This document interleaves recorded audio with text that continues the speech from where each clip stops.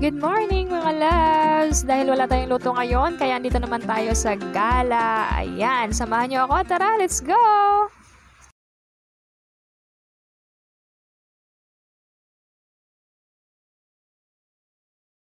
Loves, ayan, hindi ako nakapag-video kanina kasi nga busy. Tapos nag-empake kami ng mga dadalhin dito sa beach.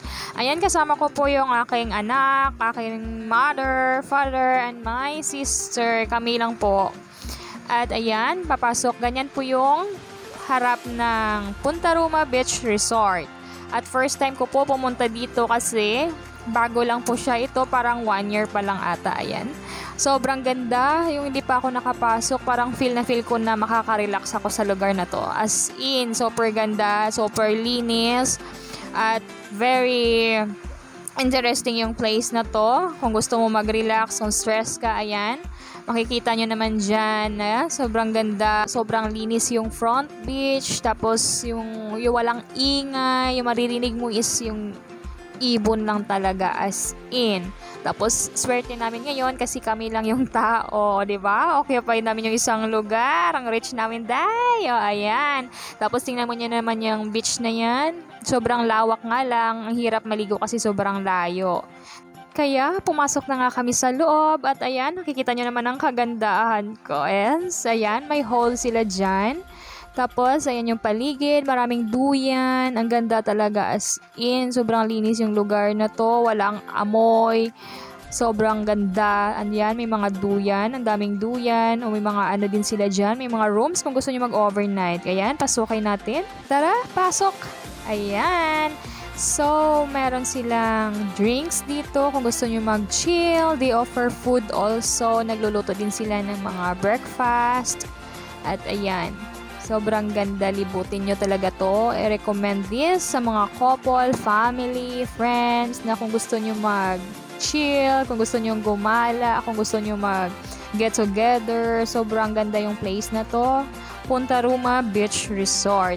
At sa mga mahilig din mag-picture-picture dyan, ayan, sobrang ganda po yung place na to para sa picture taking na gaya ko na mahilig din sa picture may mga cottages din sila dyan na sobrang affordable lang talaga yung mga price at meron silang rooms na kung gusto nyo mag-overnight, affordable lang din. Kaya ayan, samahan nyo na lang ako, libutin na lang natin to.